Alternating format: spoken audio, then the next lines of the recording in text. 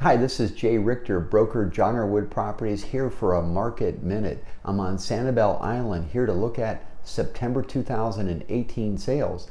Let's compare how it compared to 2017 September sales. Remember, that's when Hurricane Irma came through. So Hurricane Irma versus water quality issues.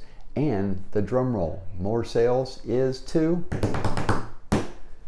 there we have it, 14,500,000 Sanibel Captiva sales for 2018 is the winner over 2017. And boy, isn't it nice? And you can look at the other data on there, but isn't it nice to see nature is back and a return to more of our natural cycle?